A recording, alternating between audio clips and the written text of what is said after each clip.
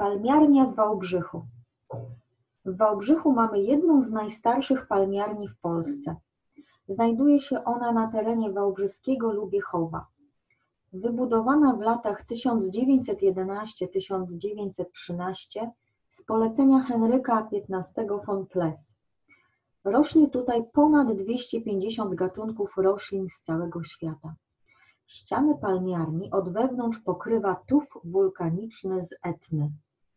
Przy palmiarni funkcjonuje kawiarnia i sklep z roślinami, gdzie można egzotyczną roślinę kupić.